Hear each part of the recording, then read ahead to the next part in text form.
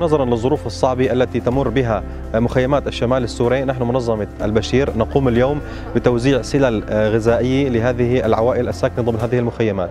وخصوصا مع بداية قدوم فصل الشتاء حيث هذه السلل تخفف عبء كبير عن هذه العوائل. تحتوي هذه السلل على مربيات وبقوليات وزيوت وحبوب.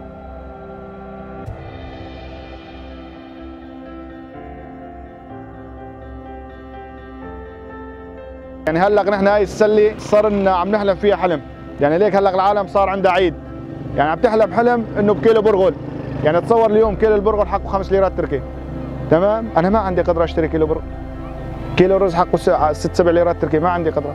لتر الزيت اليوم حقه 13 14 ليرة. ما عندي قدرة. يعني عايشين مثل ما بتقول عايشين بالقطارة. Beşir Derneği hayrınıza vesile.